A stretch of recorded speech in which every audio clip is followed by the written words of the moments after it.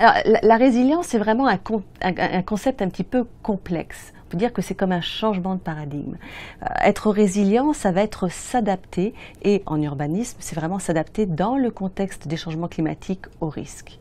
Alors, le risque, ça va être l'aléa et la vulnérabilité, qu'on définit très très bien dans le livre. La résilience, elle, elle va passer par un processus. Ce processus d'adaptation par une gouvernance multiscalaire. L'objectif est vraiment d'intégrer le citoyen, de travailler avec les élus, de travailler avec les chercheurs, avec des équipes multidisciplinaires pour bien comprendre les besoins et les enjeux.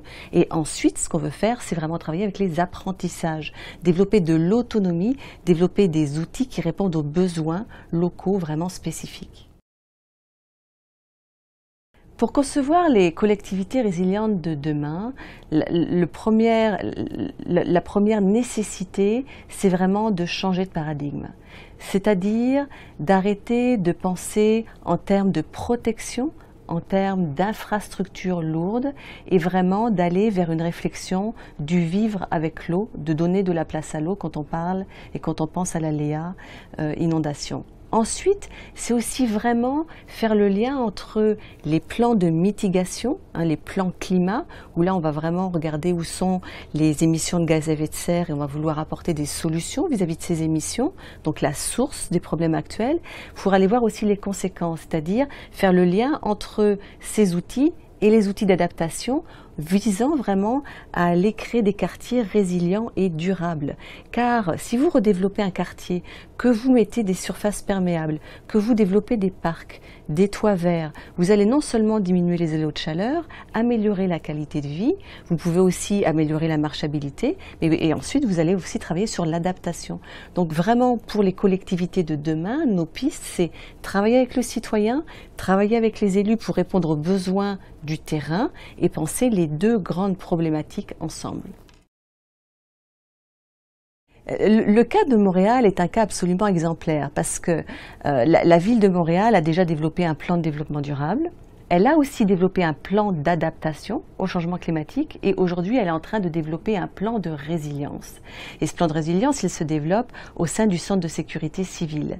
Et ce qui est vraiment très intéressant justement avec Montréal, c'est que l'objectif est d'aller vers le citoyen, d'intégrer le citoyen pour justement euh, que cette résilience soit et fasse fasse le lien avec les différentes échelles. Donc oui, Montréal euh, peut être un exemple de résilience. Cela étant dit, il y a énormément de travail à faire parce que nous avons malheureusement une, gouvernance assez fragmentée. Vous savez qu'on a des villes euh, qui sont des villes indépendantes, les villes fusionnées, les, les villes défusionnées, et donc c'est très difficile d'avoir une politique d'ensemble. Or, pour avoir de la résilience, on doit développer des corridors verts, on doit avoir des liens entre les, les différents parcs, on doit avoir des politiques avant-gardistes vertes. On sait qu'il y a Rosemont, euh, le plateau, qui sont quand même des, arrondissements qui sont très proactifs vis-à-vis de, ces, de ce développement de la résilience. Mais cela dit, il faut que ça percole dans les autres arrondissements, dans les autres villes. Et ça, c'est vraiment un énorme travail qu'il reste à faire. Alors, les, inondations de, de mai 2017 euh, ont vraiment soulevé des questions essentielles au Québec qui, malheureusement, n'avaient pas vraiment été traitées en profondeur lors des inondations du Richelieu. Alors, ce qu'on peut voir aujourd'hui, et c'est vraiment ce qu'on explique dans le livre, c'est qu'on a au Québec une sorte de changement de paradigme. C'est-à-dire qu'on commence à vraiment réaliser qu'on a déjà construit des quartiers en zone inondable et l'objectif est de respecter la loi et de comprendre comment on peut reconstruire dans ces zones inondables et surtout comment mettre des règlements, comment aider finalement les municipalités à reconstruire des quartiers qui soient des quartiers adaptés.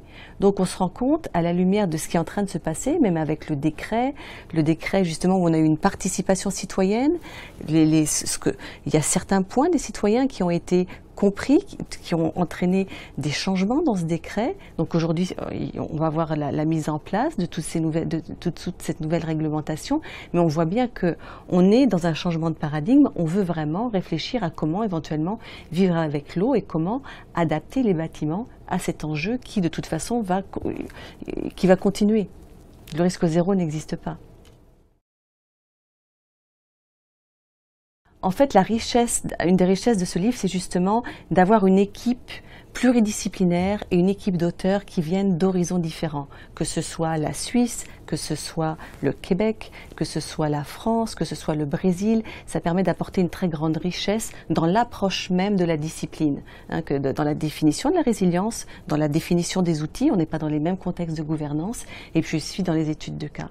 Ce qui est très important aussi, c'est vraiment de voir qu'on a une complémentarité des expertises, parce que les chercheurs aujourd'hui s'intéressent vraiment à ce qui fragilise nos systèmes. On veut construire des villes résilientes, mais pour ça, et on le voit très bien dans la recherche, il faut des équipes pluri-transdisciplinaires.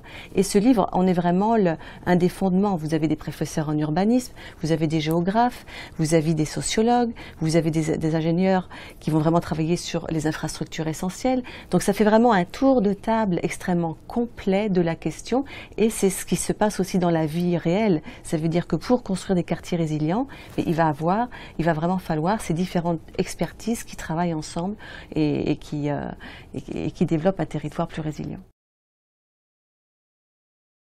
c'est très important de vulgariser l'information, de permettre justement à, tout un chacun de comprendre les enjeux.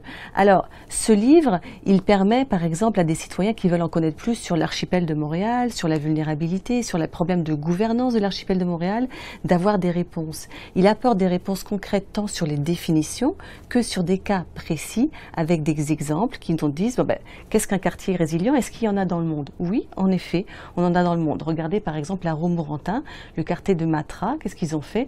Ils ont changé de paradigme, ils ont décidé de vivre avec l'eau et ils ont construit un quartier sur une ancienne zone industrielle comme un bassin versant. Donc c'est vraiment très important de se dire, bon, bah, parce que c'est un petit peu complexe de se dire, oh, sur un ensemble de l'aire métropolitaine, qu'est-ce que nous, citoyens, on pourrait faire? Mais On peut déjà comprendre ce que ça veut dire d'être résilient et puis ensuite, au niveau de notre comportement, au niveau de notre parcelle, mettre en place des gestes changer de paradigme, changer de façon de faire pour être résilient de plus en plus.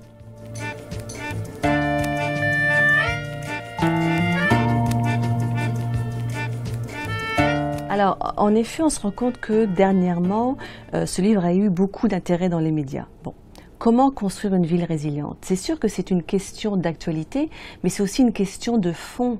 et l'intérêt actuel qui, euh, qui, est suscité tant dans la population que dans les ministères hein, et, même euh, vis-à-vis des citoyens montre ce changement de paradigme, montre cette volonté de comprendre comment est-ce qu'on va pouvoir créer, comment est-ce qu'on peut développer euh, un comportement et un territoire qui soit plus résilient et qui nous permette finalement pour les générations futures de pouvoir construire de pouvoir concevoir des espaces territoriaux qui soient vraiment vivables sur le long terme. La Nouvelle-Orléans, depuis l'ouragan Katrina, a développé des grands principes de résilience, la ville comme une imponge. Il suffit d'aller voir d'ailleurs son plan de résilience, qui a eu un prix un de l'ordre des urbanistes américains? Qu'est-ce qu'ils font? Ben, Ils veulent redévelopper leur ville en développant une ville perméable. Ils veulent redévelopper leur ville en développant une ville plus compacte, en justement ayant des, des, des, euh, pistes cyclables qui sont en plus des parcs. Donc ça, ça permet d'absorber l'eau. Et puis ensuite, qu'est-ce qu'ils font? Ils vont développer aussi des systèmes d'éducation avec les enfants, avec les écoles, pour pouvoir conscientiser aux différents niveaux de la société les, les, les, citoyens sur ces enjeux qui sont des enjeux très importants. Donc on peut vraiment mettre en exergue des grands principes de résilience, mais pour ça, il va falloir aller sur le terrain, aller faire des entretiens et puis ensuite écrire un deuxième tome pour montrer vraiment comment ces processus, comment ces grands principes sont mis en exergue de façon générale. Euh, Isabelle Thomas, professeure titulaire à l'école d'urbanisme et d'architecture du paysage de l'Université de Montréal et je viens de publier le livre La ville résiliente, comment la construire aux presses universitaires de Montréal.